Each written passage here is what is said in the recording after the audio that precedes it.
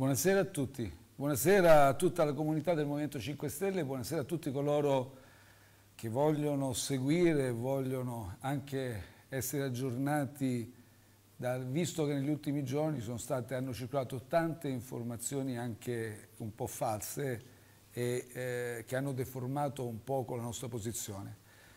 Noi avevamo già anticipato e come l'avevamo anticipato così è stato. I nostri senatori al Senato non hanno partecipato al voto sul decreto aiuti, motivando questa posizione con ragioni di metodo e in parte anche di merito.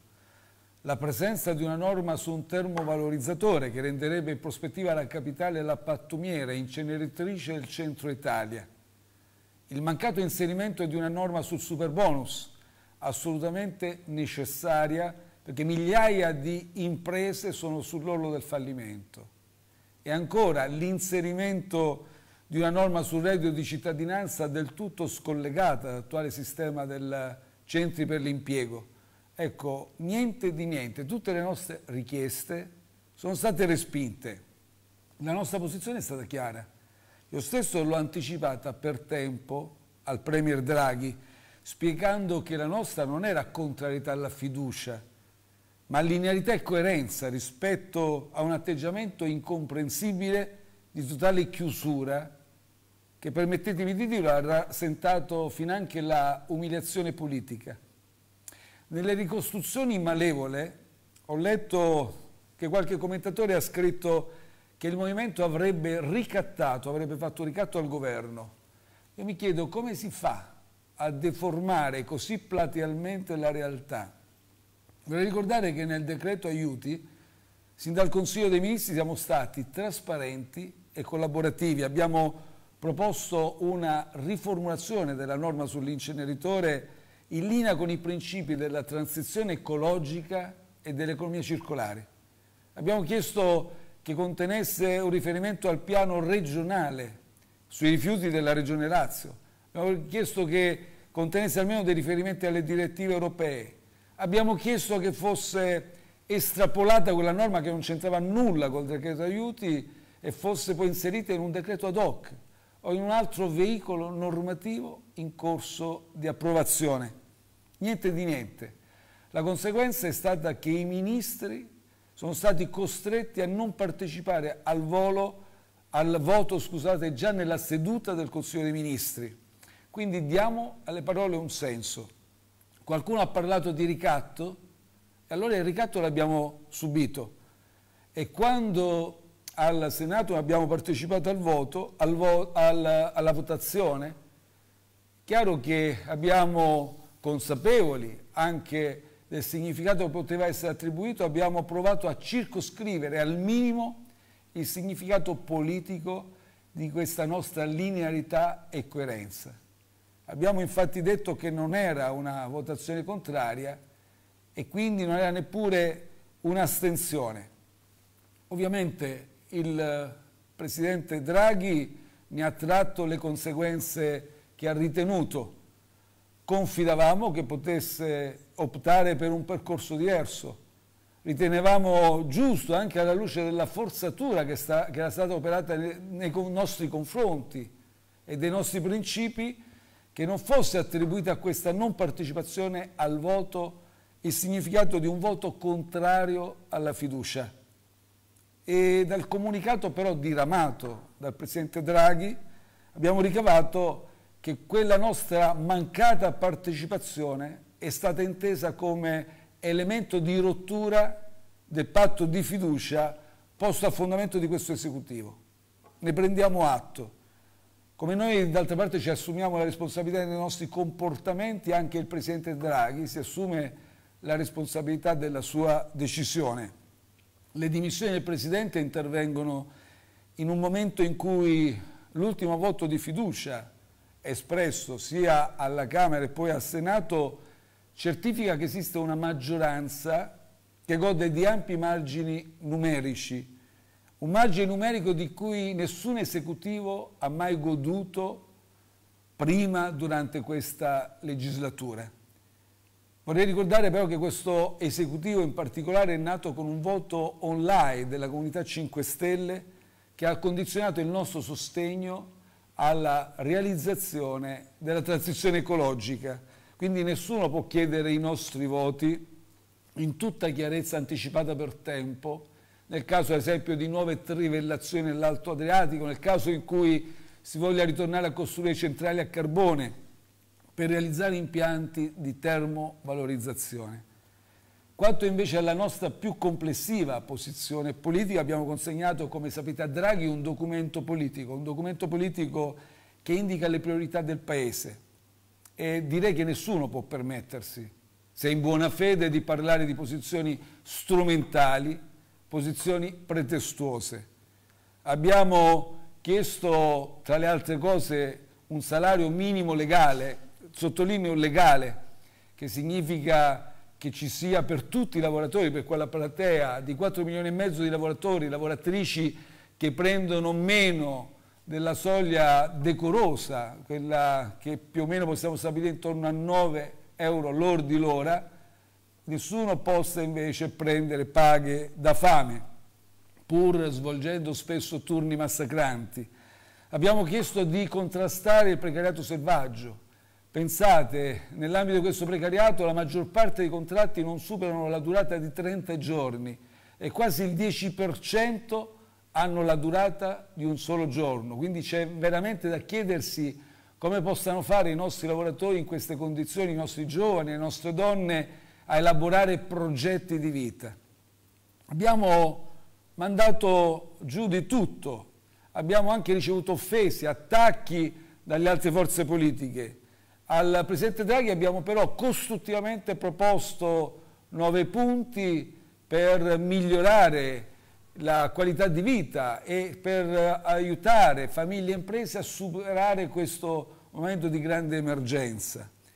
Ecco, lì abbiamo chiesto delle risposte concrete, vere, non delle dichiarazioni di intenti, anche perché noi nella pandemia l'abbiamo già affrontata, abbiamo portato oltre 209 miliardi per il Piano Nazionale di Ripresa e Resilienza, abbiamo investito in sostegno oltre 130 miliardi, abbiamo portato il Paese a un 6,6% di PIL e quindi chiaramente non, può essere sufficiente 200, non possono essere sufficienti 200 euro una tantum. Abbiamo evitato anche un milione di poveri, come dice, ha certificato recentemente l'Istat con le varie misure di protezione sociale. Ecco perché abbiamo chiesto un intervento anche urgente, di forte impatto, per un piano straordinario di aiuti a imprese e famiglie, con taglio del cuneo fiscale a beneficio dei lavoratori e eh, sostegni consistenti a imprese e lavoratori autonomi. Il fatto che poi subito dopo ci sia stato un incontro a Palazzo Chigi con le parti sociali e l'annuncio di un decreto di fine luglio vuol dire che avevamo ragione ad affermare che gli, che gli aiuti sin qui stanziati non si sono rivelati sufficienti. Riteniamo assolutamente urgente, lo stiamo chiedendo da tempo, una norma sul super bonus che salvi le imprese che stanno fallendo e consenta la circolazione dei cassetti di crediti fiscali bloccati. È davvero urgente. I dati a nostra disposizione certificano, dati ufficiali, che per 38,7 miliardi di euro investiti dallo Stato in questo settore sono stati generati un valore economico per 124,8 miliardi di euro e tra l'altro tra occupati diretti e occupati del settore abbiamo avuto uh, 634 mila lavoratrici e lavoratori in più. Quindi quella è una misura non solo che non va disprezzata, ma assolutamente va salvaguardata. Abbiamo posto le questioni prioritarie, quelle più urgenti, che a noi tolgono il sonno e ci interrogano sulle nostre responsabilità, corresponsabilità di governo. Noi non abbiamo mai ragionato, mai, sottolineo mai, per convenienza di parte, né mai le valutazioni elettorali, come qualcuno in malafede dice, hanno offuscato quella che è la priorità assoluta che abbiamo per il bene dell'Italia. I giornali amano scrivere a volte di un nostro braccio di ferro col governo. Lo confesso, qualche volta l'abbiamo fatto. L'abbiamo fatto nel senso che abbiamo assunto delle posizioni molto ferme e risolute, come quando abbiamo chiesto sostanziali modifiche alla riforma Cartabia sulla improcedibilità dei processi penali e anche sulle modifiche dell'ordinamento giudiziario. Lì c'è stato un confronto anche molto duro, molto serrato col governo, però non eravamo mossi da interessi personali. Il rischio è che andassero in fumo migliaia di processi penali. E pensate un po', recentemente è intervenuta la Commissione europea con la relazione report sullo Stato di diritto, sul report annuale, e ha sollevato proprio puntuali critiche proprio su quel meccanismo dell'improcedibilità dei processi penali e ancora sulle norme di riforma dell'ordinamento giudiziario sull'indipendenza dei giudici. E allora la, domanda, la domanda che pongo a tutti gli italiani, se non ci fosse stato il Movimento 5 Stelle che è intervenuto a uh, suggerire e anche imporre, se mi permettete, sostanziali modifiche alla versione originaria. Figuratevi che cosa sarebbe successo se quella finale conserva ancora criticità. Ecco, siamo consapevoli di essere una maggioranza così ampia, essere una maggioranza così ampia significa anche accettare compromessi, soluzioni compromissorie rispetto alle rispettive posizioni iniziali. Ma ricordo però che all'avvio di questo governo abbiamo subito chiarito in piena trasparenza che il nostro sostegno non avrebbe mai comportato la rinuncia a declinare i principi della transizione ecologica, della giustizia sociale. Quei principi sono nel nostro DNA. Se ci siamo noi bisogna declinare quei principi, altrimenti noi non ci possiamo essere e la crisi energetica in atto, e lo abbiamo scritto anche nel documento che abbiamo consegnato al Presidente Draghi, non può essere per noi una scusa se qualcuno volesse tornare al passato, se qualcuno volesse ritardare gli investimenti nelle fonti rinnovabili, consentire nuove trivellazioni. Né una forza di maggioranza può pensare di scardinare il sistema che abbiamo faticosamente eretto e che stiamo migliorando di protezione sociale perché esistono certo i privilegiati, ma esistono anche quelli che non hanno voce, che non contano, gli ultimi, le persone fragili e vulnerabili. E uno Stato civile deve occuparsi soprattutto di questi ultimi. Noi non siamo disponibili a tradire quindi i valori costituzionali, il patto che abbiamo stretto con le generazioni future. E certo siamo convinti che occorra concentrare i massimi sforzi per cercare una soluzione diplomatica per porre fine a questa guerra, a questo conflitto che provoca carneficine, distruzioni e anche procura recessione economica. Le dimissioni del Presidente in carica intervengono in un momento di grande difficoltà per il Paese. Molte forze politiche che sostengono la maggioranza si sono affrettate, l'avrete letto, a chiedere che il Movimento 5 Stelle rimanga fuori dal perimetro di maggioranza. Anzi, quelle più veementi sono stati, gli esponenti più veementi sono state le forze più giovani, che evidentemente interrogano la propria coscienza dopo aver rinnegato i propri principi e i propri valori. Hanno manifestato ancora una volta tante forze politiche ostilità nei nostri confronti. Io non credo che sia un'ostilità nei confronti di esponenti del Movimento 5 Stelle, ostilità personale. Io credo che sia contrasto verso i principi, i valori da noi difesi, tutelati e professati, quindi transizione ecologica, digitale, giustizia sociale, difesa della legalità. Ecco, noi siamo scomodi, lo sappiamo e l'abbiamo sempre saputo, ma vedete questa nostra intransigenza è dovuta al fatto che la nostra azione politica è stata sempre ispirata e sarà sempre ispirata al bene del Paese e alla tutela del, dei bisogni dei cittadini. È per questo che con spirito costruttivo abbiamo invitato il Presidente Draghi a confrontarsi su quelle nostre priorità, sulle priorità, su quelle urgenze da noi indicate che esprimono le ragioni del nostro disagio politico in questo perimetro di maggioranza ed esprimono anche le, i modi, le forme per superare questa emergenza economica e sociale. La risposta non è ancora pervenuta, c'è stata qualche generica apertura su alcune delle urgenze segnalate, ma nessuna indicazione concreta sulla soluzione di esse.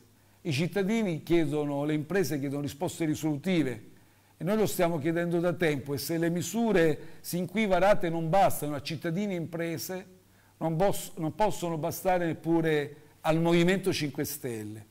La trasparenza con i cittadini, la sincerità che dobbiamo a noi stessi e al Paese ci impone di prendere atto che non spetta a noi evidentemente in questo momento se ci sono degli elementi per recuperare quella rottura del patto di fiducia di cui ha parlato il Presidente Draghi. Peraltro tutti gli stanno facendo pressione e continuerà questa pressione perché possa proseguire il suo governo, ma è sicuramente importante come proseguire questa azione di governo.